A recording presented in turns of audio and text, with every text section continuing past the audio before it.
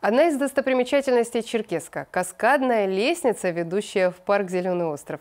Своим преображением порадуют как жителей, так и гостей республиканской столицы.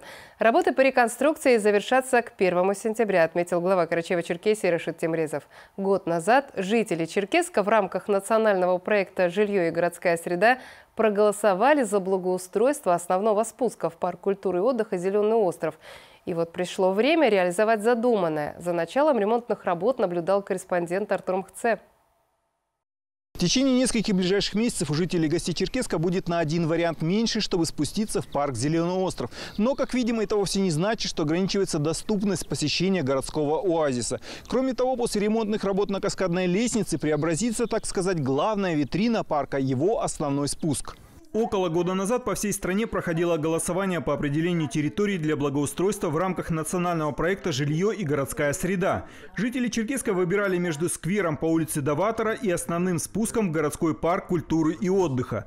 В итоге было принято решение реализовать обе предложенные заявки. В рамках благоустройства каскадной лестницы предусмотрены работы по э, устройству плиточного покрытия на ступенях, приведем в соответствие освещение, э, будет достаточно освещенная данная территория, э, будут установлены грунтовые светильники на ступенях, также планируется благоустроить прилежащую территорию, озеленить клумбы.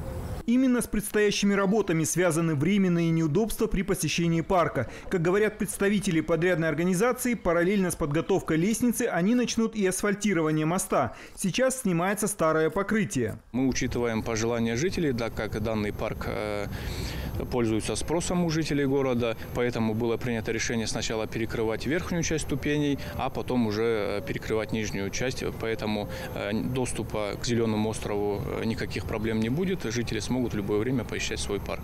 Несмотря на то, что работам на каскадной лестнице отведено около четырех месяцев, подрядчики планируют завершить благоустройство раньше срока. Строители понимают эстетическую важность для людей этого городского оазиса. Разумеется, ремонтом основного входа дело не ограничится. По словам представителей мэрии Черкеска, спуску на Зеленый остров со стороны улицы Роза Люксембург также уделяется большое внимание. В настоящее время сформирована заявка. Ожидается решение комиссии.